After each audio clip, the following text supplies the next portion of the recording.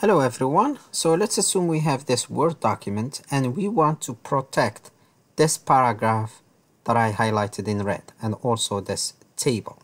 So how can we do that? Well, basically you need to isolate this paragraph from the rest of the document.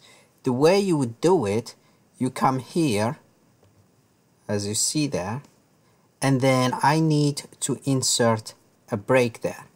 So I go to layout and then click on break and click on continuous okay? And then I would do the same thing here just before this next paragraph starts and I do the same thing click on break and click continuous.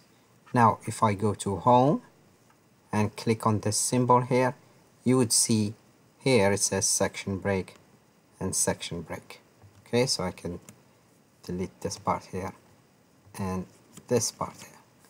Now after you insert this break let me take out that uh, you basically go to review and then you click on restrict editing and then go to the second option here where it says allow only the type of editing in the document. Click on that and then select filling in forms. Okay? Now after you do that let me show you there is this text here that says select sections. You click on that and then okay so we have three sections. Section 2 is the one in red and that's the section that I want to protect. So it is the section that I want it to be checked so I would uncheck section 1 and section 2 click OK. And now I'll go to yes start enforce, enforcing protection.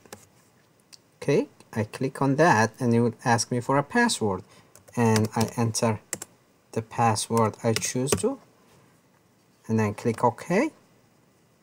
And then that's it. Now I cannot make any modification on this paragraph here. However I can do whatever I want here as you see.